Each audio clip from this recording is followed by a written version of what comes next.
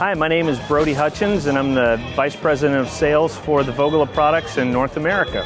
And today we're at our Wirtgen America Technology Days here in Nashville, Tennessee, with 1,200 of our closest friends and customers looking at new products and technology. And one of those products is right here, the Super 2100 uh, 5. This is actually brand new in the last few months to North America, and it's the first Dash 5 product that we've brought from the factory into North America. So we're excited about the Dash 5 because it's actually a bit of a preview of what's going to come on some of our other products in the future. But specific to the Dash 5 on the Super 2100, this is our specialty machine primarily for base, roller compacted concrete, cement treated base, soil cement, etc., even thick lift asphalt. So the Dash 5 has got a lot of stuff that you don't actually see on the machine. It's more inside the machine.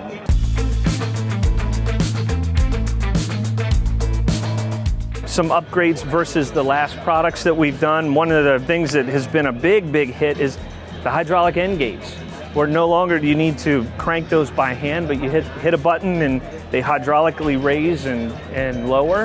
And we continue to develop our leveling systems where you can't see it right now, but we've got fantastic lighting because a lot of the work is done at night. So under these sensors, not only they're sensing, but they also serve as lights for the area around it. And again, the similar but upgraded uh, auger sensors.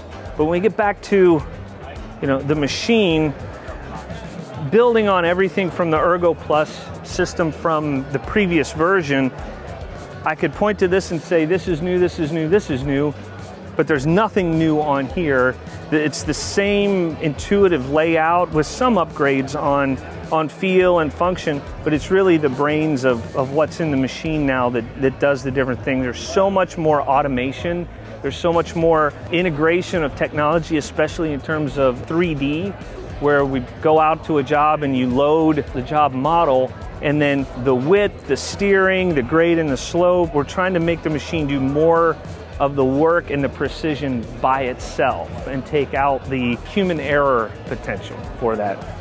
So on the back of the screed, this is really where, where everything happens on this machine. You can see down below, those are the pressure bars. And again, these machines are used for very thick lifts and, and different types of base material as well as asphalt.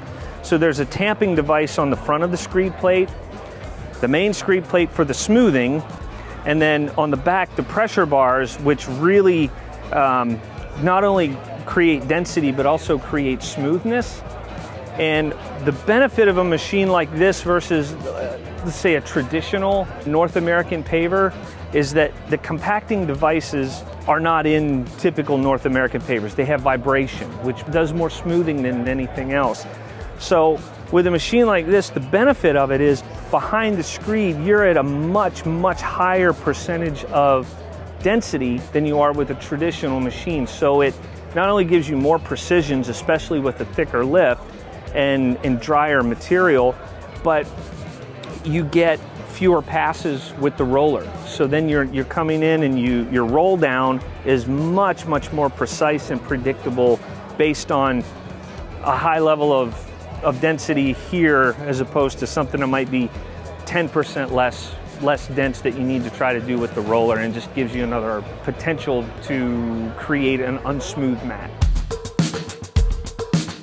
One of the last things to look around, there's been a lot more focus on the operator comforts of these machines as well. So not only a canopy for shade, etc., but the lighting. These lights are amazing. Light the whole area, they light the right area, and it's bright to meet state requirements, etc.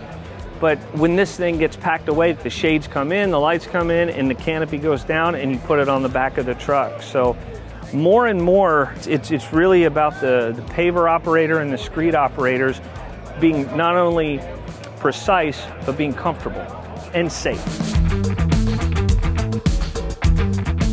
The ideal customers for these machines are contractors putting in base material like roller compacted concrete and cement treated base, soil cement, and some specialty asphalt applications, particularly on thick lifts. But I'd say the coolest application for machines like this has been on Formula One tracks and other race tracks as well, NASCAR tracks, etc. But there's actually a specification that existed that we were able to meet, and we've become synonymous with paving Formula One tracks along with the Hamm rollers behind them. So we've been able to go out and um, build even thin lifts that sustain 200 plus mile an hour Formula One cars.